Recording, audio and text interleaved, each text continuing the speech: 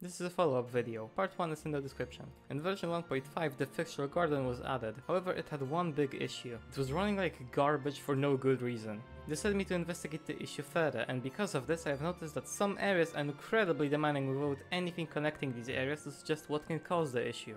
So I made a video discussing the issue and released it right before patch 2.0 came out. And as I was playing the game and farming the relic domain that is in the Fyxestroll Garden, I felt like it looked different. I don't have any evidence to prove that it does, but I think they added more fog to the background. Regardless, it made me curious if there were actually any changes made to the Fyxestroll Garden. And you have no clue just how surprised I was when I saw that the same area which was struggling to run at all during 1.6 was now running perfectly smooth. Now one thing that I forgot to do in the previous video was to show my graphical settings. But I can show you right now that all of the settings are set to as high as they go, and yet the area is still performing much better than it did last time I tested it. For some context, not only did the frame rate double in some cases, but it is now using less of my GPU.